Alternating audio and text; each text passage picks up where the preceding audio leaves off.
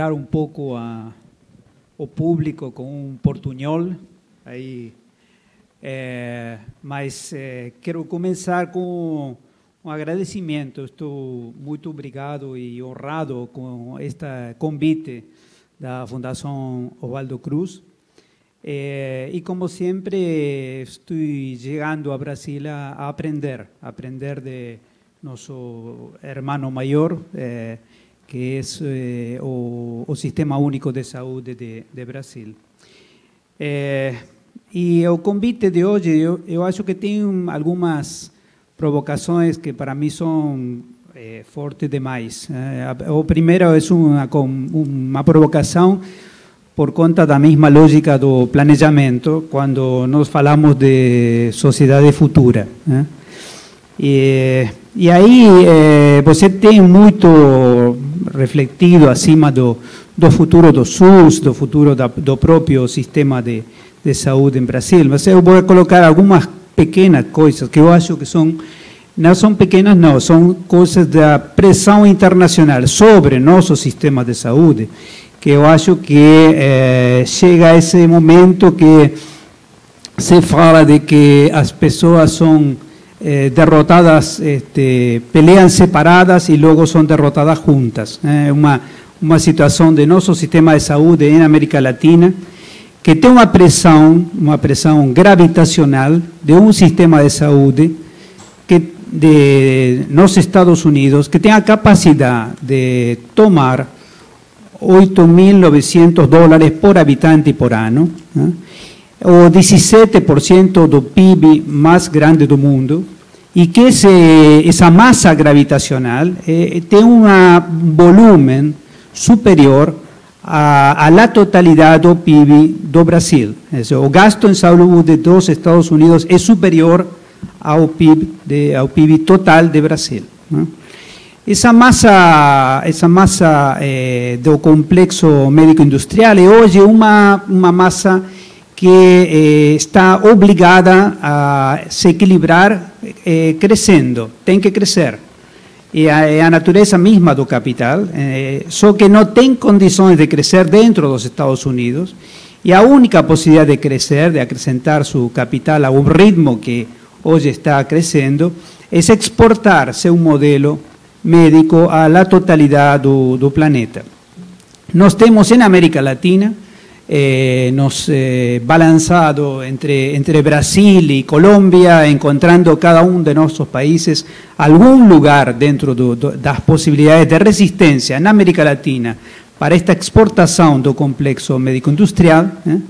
Mas hoje esse complexo médico-industrial está ainda mais eh, mais corajoso eh, e está indo por a, segura, a Seguridade Social Europeia. Eh.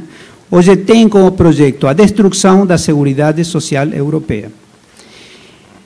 Então, o, o, problema interno de nossos países tem que ser eh, matizado, tem que ser colocado um pouco também dentro da lógica de saúde internacional, porque estamos dentro de uma situação eh, perigosa por não só um tema de sistemas de saúde, mas também a forma como as sociedades trabalham a complexidade do próprio processo saúde-enfermidade, atenção. E aí eu queria colocar o tema da, da mudança, dessa pressão sobre nossos países, também na mudança da morbilidade, uma mudança da morbilidade que eh, gera uma, um novo panorama, eh, eh, que tem muito a ver com, com a a colocação das enfermedades crônicas, as, as doenças crônicas estão colocadas uma situação que seria eh, in, eh, você não pode afrontar elas, digamos, nem sequer nos países europeus.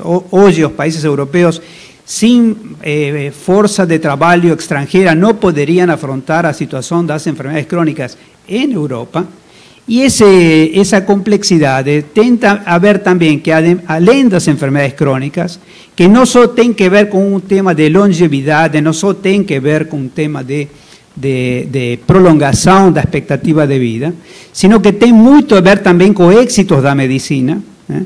que gera novas situações, eh, por exemplo, pessoas de eh, eh, crianças de muito baixo peso ao nascer, eh, menos de 800 gramos, eh, que que pasan a ser enfermos, este, doentes neonatológicos por 3, 4, 5 anos. Eh? É a mesma situação de muitas outras enfermedades que nós agora não curamos, sino cronificamos. Eh? Mas, além disso, temos outro processo, um outro processo de medicalização que expande a situação de doença, não só a situação de doenças reais, mas também a situações de populações de risco mudando o tempo todo, digamos, os patamares a partir do qual se define quem é doente e quem não é doente.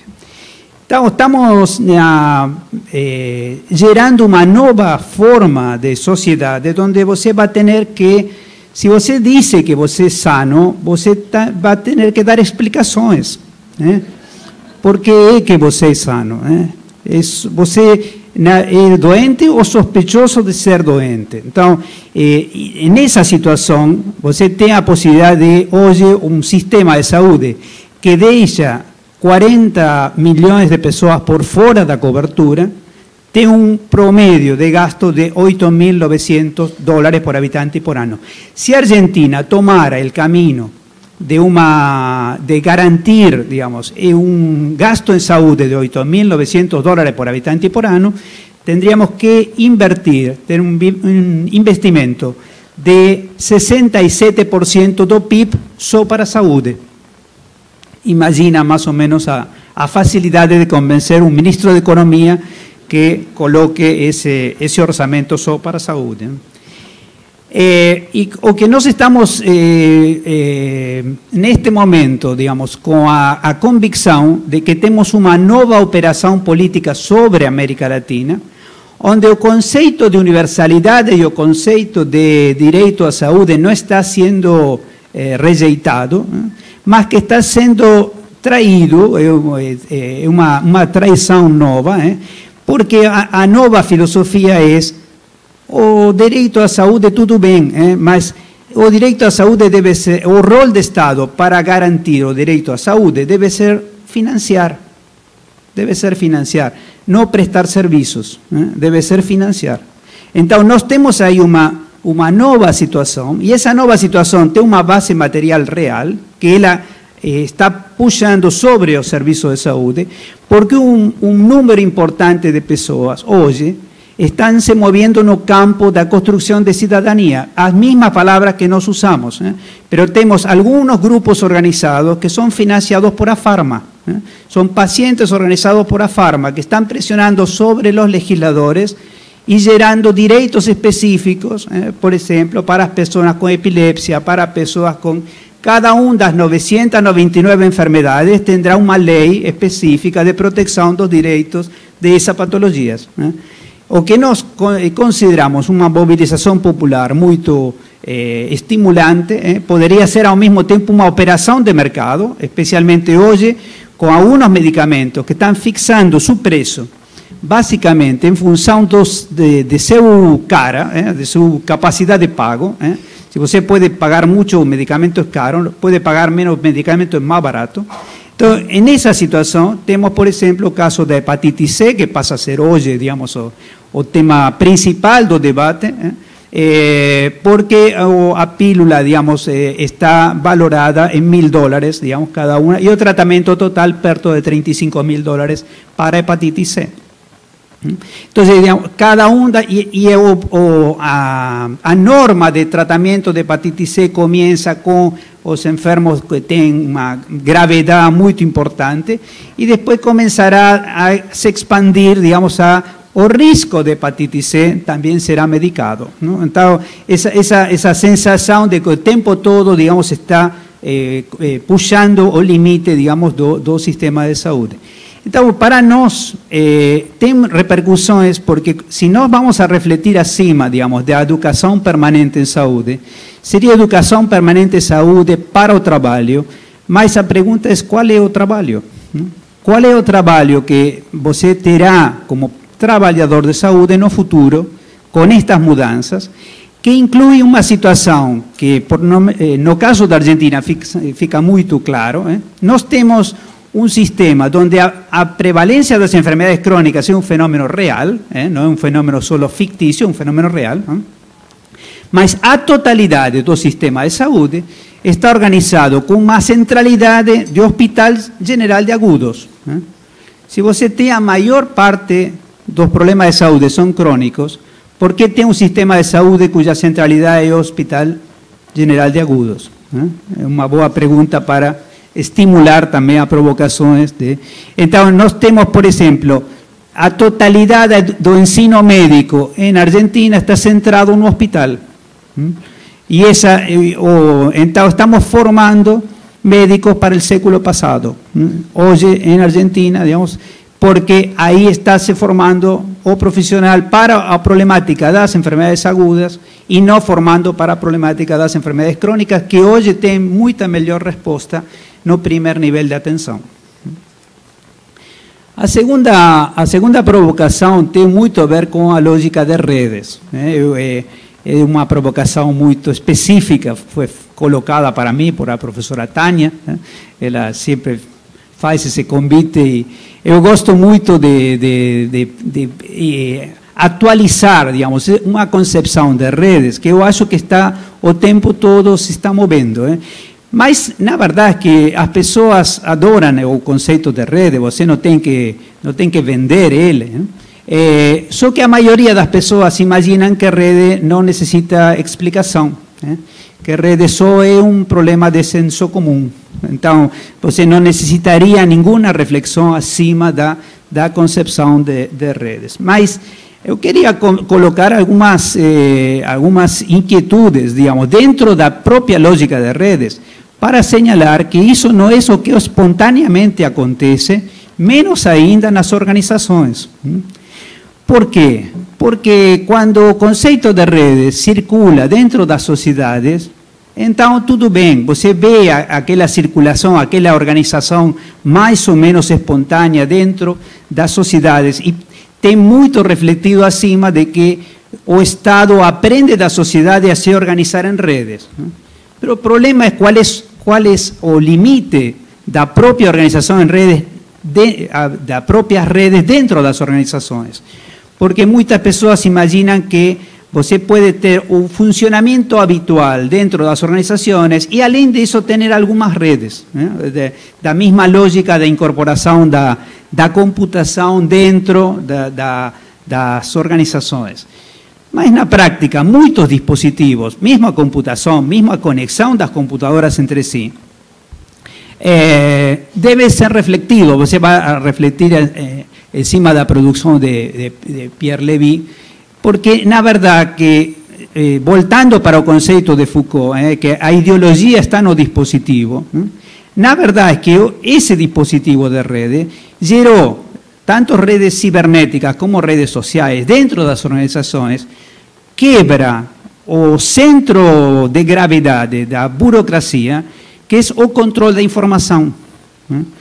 A instalação do conceito de rede dentro das organizações é um conceito subversivo dentro da lógica habitual de uma organização que está baseada desde o século XIX na lógica de controle da informação. E o que as redes eh, geram dentro das próprias organizações é uma circulação de informação que você já não tem forma de compartimentar, compartilhar a informação, digamos, a compartimentar a informação que está sendo que está circulando dentro das organizações. E esse conceito é um conceito fundamental. Você tem que imaginar alguma militância de democratização das, das organizações, e dije universidades porque faz, as universidades fazem parte do problema das organizações burocráticas, eh? Porque tem que pensar a forma como a incorporação de redes é, é coerente, coerentiza com umas outras intervenções de transformação institucional que tem que ver com a democratização das, das instituições. É, e temos autores que trabalham sobre isso, né? é, mas dentro das organizações você não pode imaginar uma organização sem níveis. Hein? Então, se você tem níveis dentro das organizações, todo mundo imagina que para gerar redes é muito importante ter pessoas ponte, né? pessoas que tenham a capacidade de conectar, eh, o Naomar falou de anfibios, eh, pessoas que têm a capacidade de conectar eh, mundos diferentes, mas ao mesmo tempo você necessita também pessoas elevador, pessoas que tiveram a capacidade de conectar diferentes níveis das organizações, porque cada um dos níveis da organização é capaz de gerar sua própria cultura. Né? E essa cultura do piso né, é uma cultura que depois eh, vai gerar conflito institucional, porque cada nível da organização não consegue se comunicar com outro nível e com outro nível. Então, a ideia mesma de ter pessoas operando na lógica de redes necessita uma, a capacidade da comunicação eh, horizontal, mas ao mesmo tempo da comunicação vertical dentro das, das organizações. E um outro conceito que eu acho muito importante para trabalhar acima das redes é o conceito de território, né? porque a maioria das pessoas imaginam que o conceito de território é um conceito tranquilo, né? a, ideia de território é uma situação eh, local, uma situação, eh, digamos, eh, pacífica, se você não, não ha feito política en un territorio. Si você tem esa experiencia, sabe que ningún territorio é tranquilo. Eh?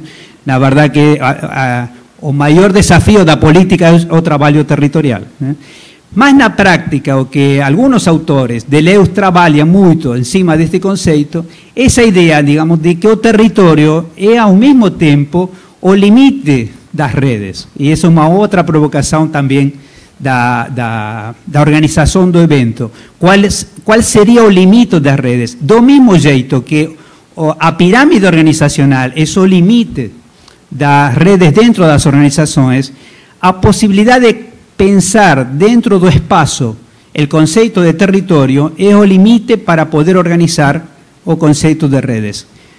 Eu vou a, a, a apelar a uma, só um minuto de sua paciência com este esta imagen, o, o, o, su, sufijo torio tiene a ver con lugar, eh, o auditorio, consultorio, eh, locutorio, eh, no sé si en portugués da supositorio también, da, você imagina lugar inmediatamente. ¿no?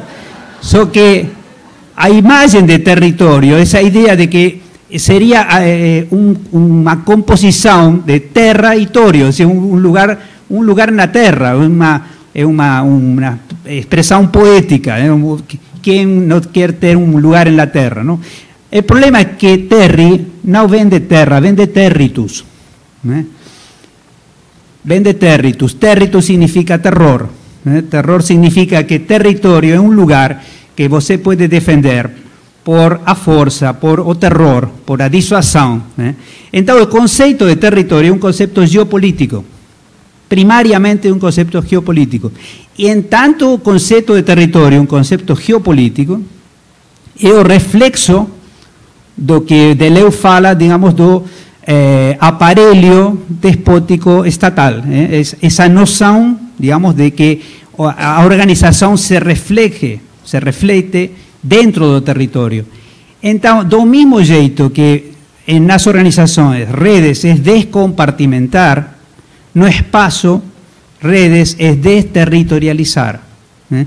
Si tuviera que hacer una única definición de redes, diría es un aparelho de desterritorialización. Só que hay territorios que son territorios simbólicos. ¿eh? Y también, você no ten solo territorios no espacio geográfico, você también ten las incumbencias profesionales son territorios, ¿eh? las cátedras son territorios, las facultades son territorios. A saúde é um território. E na medida que o futuro da saúde não está em gerar a República Popular da Saúde, sino em ter a capacidade de instalar, digamos, nosso mensagem de saúde na sociedade brasileira, na sociedade argentina.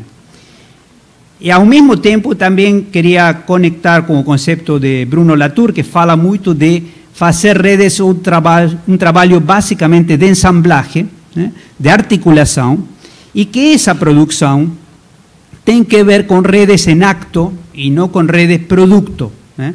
Esa idea de redes en acto y no de redes producto es importante para, eh, no sé si araña se dice araya, ¿eh? para la lógica de redes nós não falamos de net, falamos de networking, trabalhar em redes é mais importante que a rede. A Araya é mais importante que a tela. Então, na lógica de redes, não, tem, não, temos que nos concentrar na tela, sino nos, na, na Araya, na capacidade de cada um de nós de gerar redes. Se você imagina redes em ação, eh, o sujeito fazendo redes, então o tema é que o conceito de redes não tem limites. O limite está na rede. O limite está que você, quantas pessoas poderiam fazer parte desta rede. Eh? Agora, em quantas redes você pode participar é uma outra coisa. Eh? Você pode ser ativo, construir, articular. Outro conceito, tenho já marcado cinco minutos, é, outro conceito tem a ver com a noção de educação permanente. É. A noção de educação permanente, todos vocês são expertos em educação permanente, eu venho aqui a aprender de educação permanente, mas eu queria só colocar dois ou três pequenos bullets aí de educação permanente. O primeiro é aprender é todo, o secreto é aprender. É. Dentro do processo educativo, você tem um, muitas coisas, mas o, o eixo é aprender. É? E esse eixo tem a ver com uma noção vital. Você não aprende porque tem que uh, obter um título. Você aprende porque, você, porque a vida é aprender. Você aprende até o último momento de, de sua vida. E se você não aprende, está em problemas. É? Você tem problema de aprendizagem. Tem, tem, um problema de aprendizagem. Você tem que aprender o tempo todo. É? Então, a lógica da educação permanente não é um tema de, de obsessão, é um tema de vitalidade, digamos. E em muitos casos, em muitos casos, as pessoas em saúde não aprendem como consequência da natureza da organização da gestão do trabalho. Né? A própria gestão de trabalho é capaz de paralisar o aprendizagem dos trabalhadores de saúde. Então, só aí queria eh, compartilhar, a ideia. Eh, a primeira já foi colocada aqui. A educação permanente é uma ferramenta privilegiada para o cambio institucional. Se você tem, imagina, digamos, uma concepção de reforma, digamos, a ferramenta privilegiada é a própria educação. Eh, segundo, na Argentina, se você quer ganhar um público de saúde como este, você tem que falar de burnout. Né? A, a totalidade dos trabalhadores de saúde na Argentina estão queimados. Está, todo mundo está queimado. Mas na verdade, na verdade que é um sentimento em parte real, em parte fictício, né? mas essa sensação é uma sensação que tem, que tem muito a ver com a perda de controle do processo de trabalho. Né? Então, o trabalhador de saúde sente que não tem controle do processo de trabalho, mesmo sendo uma das profissões com maior autonomia em seu imaginário. Né? Sin embargo, digamos, ele sente que não tem controle do processo de trabalho. Então, na prática, na prática, a educação permanente tem dentro das instituições de saúde um rol terapêutico. Tem um rol terapêutico, né? porque aprender ao mesmo tempo, digamos, é uma intervenção terapêutica. E aí eu só queria colocar duas coisas. Uma, é, a medida que cambia a natureza do trabalho, e a medida que estamos trabalhando com doentes crônicos, e a medida que essas pessoas têm poder, cada vez mais poder de negociação, dentro da lógica do serviço de saúde, você não tem só que ter uma educação permanente para um trabalho em saúde, sino que tem uma educação permanente para um trabalho em saúde que é educar. ¿eh? O próprio trabalho em saúde, cada vez mais, educativo.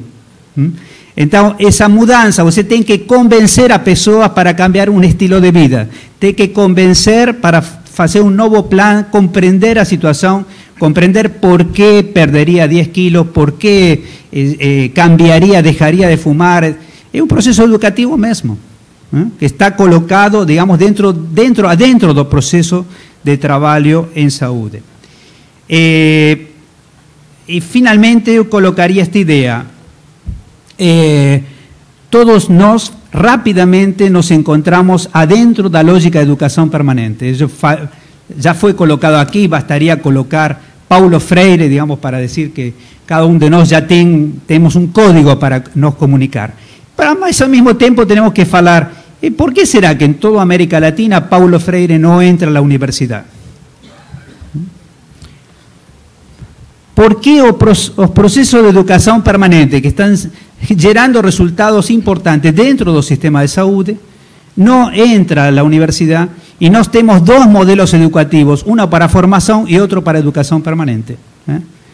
Mismo dentro da história que nós conhecemos com Chico, dentro da, da OPAS, digamos, cada uma destas áreas de intervenção estava por fora, uma isolada da outra. ¿eh?